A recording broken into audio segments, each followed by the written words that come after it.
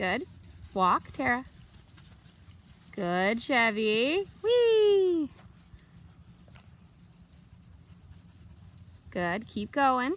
Now change direction. So face him, get in between the sheep and get in between him and the sheep, Tara.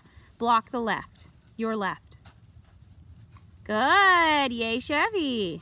Walk away, Tara. Yep, change direction, just get, get moving. There you go. Now, find a fence, tell him to lie down. Or sit, sorry. Face your dog.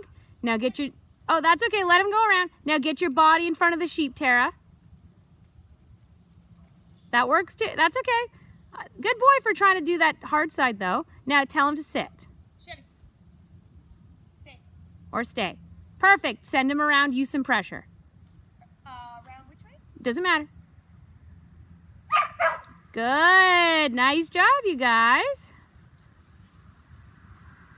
Yeah, that's fine. You can just change direction. That'd be easier for both of you. Yep, let him spin. Keep going. Good, Tara. Now, because he's focused on sheep now, you could probably just keep walking where you want to go. He'll just go around you, okay? Okay.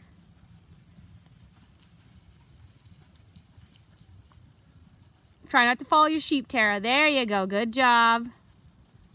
Now change direction. Face your dog. Oh, good. He, he's starting to switch back on his own. Now block the right. Step around your sheep. Raise your cane. Walk. Beautiful. Good job, you two. Uh-oh, what happened?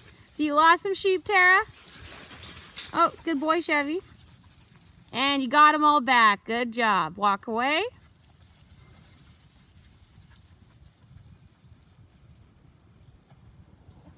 Hi. Yeah.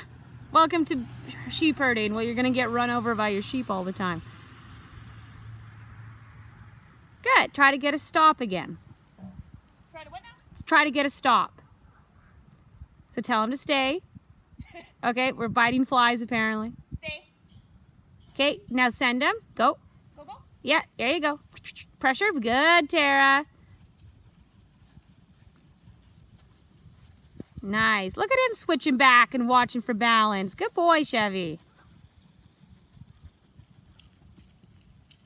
Good. Spook your sheep a bit. Spook your sheep, Tara. Spook him.